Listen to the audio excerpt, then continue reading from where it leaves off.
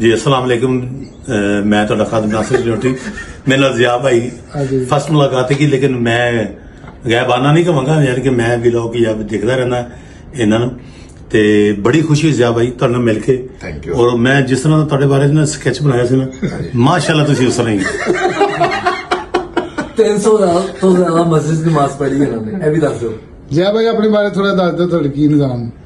Sir ਮੈਂ ਤੇ ਕਹਿ ਲੋ ਕਿ ਦੁਬਈ ਨਾਸਰ ਭਾਈ ਦਾ ਫੈਨ ਵੀ ਆ ਨਾਸਰ ਭਾਈ ਭਾਈ ਵੀ ਨੇ ਔਰ ਮੈਂ ਅੱਜ ਇਹਨਾਂ ਦਾ ਪਹਿਲੀ ਦਫਾ ਕਹਿ ਲੋ ਕਿ ਮੁਲਾਕਾਤ ਕਰਨ ਆਇਆ ਇਸ਼ਤਿਆਕ ਬੜਾ ਸੀ ਦਿਲ ਦੇ ਵਿੱਚ ਔਰ ਬੜੀ ਆਰਜ਼ੂ ਸੀ ਔਰ ਮਾਸ਼ਾਅੱਲਾ ਜਿੰਨਾ ਸੋਚਿਆ ਉਹਦੇ ਨਾਲੋਂ ਵੱਧ ਪਾਇਆ ਪਿਆਰ ਮੁਹੱਬਤ ਔਰ ਇੱਕ ਇਨਸਾਨ ਬਹੁਤ ਅੱਛਾ ਇਨਸਾਨ ਮਾਸ਼ਾਅੱਲਾ ਅਲਹਮਦੁਲਿਲਾ ਅੱਲਾਹ ਪਾਕ ਹਮੇਸ਼ਾ ਸਾਰਿਆਂ ਨੂੰ ਸਾਰਿਆਂ ਨੂੰ ਸਲਾਮਤ ਰੱਖੇ ਮਿਲ ਕੇ ਮੁਲਾਕਾਤ ਕਰਕੇ ਨਾ ਇੱਕ ਬਹੁਤ ਅੱਛਾ ਜਿਹਾ ਲੱਗਦਾ ਚਲੋ ਆਪਣਾ ਬਨ ਤੇ ਹੈ ਹੀ ਹੈ ਨਾ ਇੱਕ ਚੀਜ਼ ਹੁੰਦੀ ਕਿ ਤੁਸੀਂ ਅਗਰ ਮਿਲੋ ਨਾ ਤੇ- ਤੇ ਜਿਸ ਤਰ੍ਹਾਂ ਤੁਸੀਂ ਕਿਸੇ ਦੇ ਬਾਰੇ ਸੋਚੋ ਨਾ ਤੇ ਰੱਬ ਤੁਹਾਨੂੰ ਉਸ ਤਰ੍ਹਾਂ ਦਾ ਬੰਦਾ ਮਿਲਾ ਦੇਵੇ ਬੇਸ਼ੱਕ। ਤੇ ਉਹ ਵਧੀਆ ਹੁੰਦੀ ਹੈ ਜ਼ਿਆ ਭਾਈ ਤੁਹਾਡਾ ਮਿਲ ਕੇ ਬਹੁਤ ਮੈਨੂੰ ਖੁਸ਼ੀ ਹੋਈ Thank you ਹੈ very much. ਰੱਬ ਤੁਹਾਨੂੰ ਸਲਾਮਤ ਰੱਖੇ ਆਮੀਨ। ਹਮੇਸ਼ਾ ਖੁਸ਼ ਰਹੋ ਇਨਸ਼ਾਅੱਲਾ। ਤੇ ਅੱਲਾਹ ਪਾਕ ਤੁਹਾਨੂੰ ਆਪਣੇ ਬੱਚਿਆਂ ਅੱਲਾਹ ਤਾਲਾ ਤੁਹਾਨੂੰ ਹਮੇਸ਼ਾ ਸਿਹਤ ਤੰਦਰੁਸਤੀ ਵਾਲੀ ਜ਼ਿੰਦਗੀ ਰਹਿਮਤ ਦੇ ਦੇ ਸਾਏ ਥੱਲੇ ਰੱਖੇ Love ਔਰ ਲੰਬੀ ਉਮਰ عطا ਫਰਮਾਏ Love you, ਸਿਹਤ love ਤੇ ਤੰਦਰੁਸਤੀ ਦੇ ਨਾਲ ਲੰਬੀ love you love you thank you ਜਿੰਨਾ ਤੁਹਾਡਾ ਆਣਾ ਤੁਸੀਂ ਪਿਆਰ ਕਰਦੇ ਹੋ ਜਿੰਨਾ ਤੁਸੀਂ ਖਿਆਲ ਰੱਖਦੇ ਹੋ ਆਪਣੇ तमाम ਭੈਣ ਭਾਈਆਂ ਦਾ ਔਰ ਅੱਲਾਹ ਤਾਲਾ ਤੁਹਾਨੂੰ ਇਸ ਤਰ੍ਹਾਂ ਹੀ ਮੈਂ ਕਹਿੰਦਾ ਖੁਸ਼ ਰੱਖੇ ਆਬਾਦ ਰੱਖੇ। ਆ ਔਰ ਕੱਲ ਤੁਸੀਂ ਦੁਬਾਰਾ ਆਣਾ ਇਨਸ਼ਾਅੱਲਾ। Okay done